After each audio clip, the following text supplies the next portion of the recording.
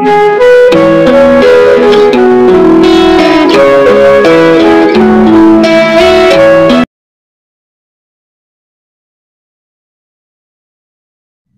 morning to everyone. Welcome to social science class. Children, why do we need to learn social science? It will help us to know about the past events or history. We will know about the physical divisions, geographical condition. We will know about the earth, then our constitution, democracy, the fundamental rights and duties of every citizen. We will know, know about the historical monuments, architecture, so music, art, culture, so many things. We will learn many things from social science. It will help us to develop the personality. It will help us to develop our personality. Man is a social animal. We must make ourselves to fit in the society. So, let's start with the first unit where we will learn about understanding the earth. In the previous year, you learned about earth, brief introduction. But this year, you are going to learn about the earth in detail. So, in the first unit, there are three subunits. For in first unit, in first subunit, you will learn about the circling lines, the circling lines, and second subunit is seven massive pieces of land, and third is about the oceans. So there are three subunits. We will start with the first one, the circling lines. In that, we will learn first, I will tell you a brief introduction of earth. Then we will learn about the latitudes, about longitudes and international date. Okay, we will start with the introduction of earth. First, I will give you brief introduction of earth. You all know, earth is a third planet from the sun. Earth is the third planet from the sun. It is the only planet or it is the only astronomical object where the life exists. So, three parts of the earth is covered with water and one part is covered with land. So, it is also called as blue planet. It is also called as blue planet because three parts of the earth is covered with water and one part is covered with land. So, earth is our home planet. So, this is a brief, brief introduction of earth. Then, we will move to the latitudes. So, children, please tell me before going to latitudes, I would like to ask you one question. So, our daily work or our daily schedule or our routine work, on what basis we will do all our work?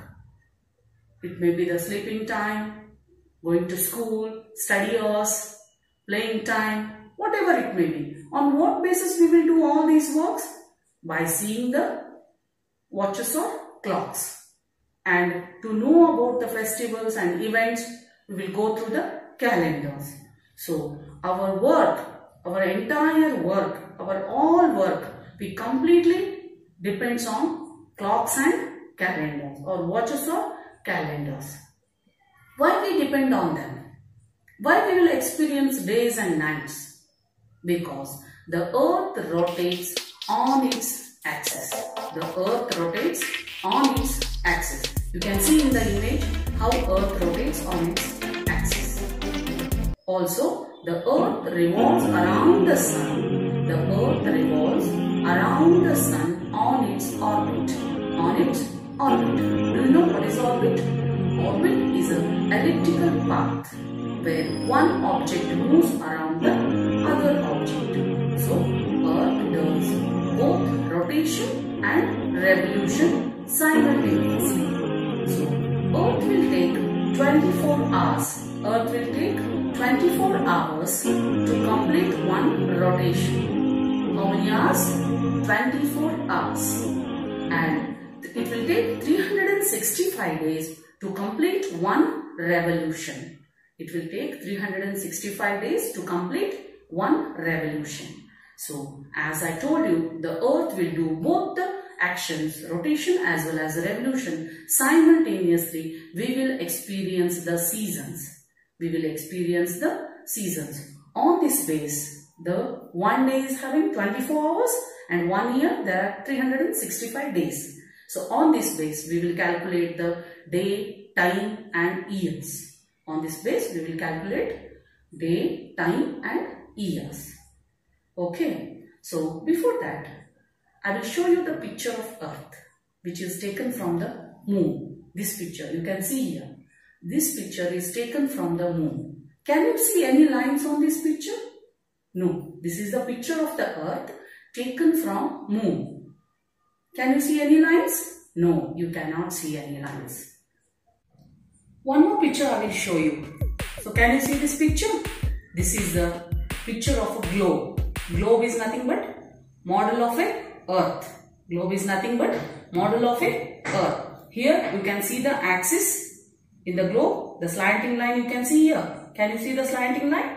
This, this is called axis and middle line. This is the equator. This is the equator. So you can see some lines. You can see some lines. They are called imaginary lines. They are not real. They are not real. They are imaginary lines. In the real picture, real in the earth, we won't find the lines. We won't find these lines in the real. In the real, we won't find those lines. They are imaginary lines. Now we will start with the latitudes. We will start with the latitudes. Latitudes. Latitudes are the horizontal lines run parallel to the equator. Run parallel to the equator. So, equator, the measurement starts from 0. The measurement of degree starts from the equator. So, equator, the latitude, this is the longest latitude. The equator you can see here. So, this line is the longest latitude. Longest latitude. Equator divides the earth into two halves. So, the part near to the north is called northern hemisphere and to the south it is called southern hemisphere. So, this is the longest latitude as we go up. As we move towards the north, the lines will become smaller. The lines will become smaller because the earth is round. As the earth is round, the lines will become smaller. In the same way, as we move towards the south, the lines will become smaller. So, all the latitudes are given numbers. All the latitudes are given numbers. Equator is at 0. Equator is at 0. The N, the N indicates north whereas S indicates south. So, there are some other important latitudes. They are given names from the constellation of stars. So, one by one I will tell you.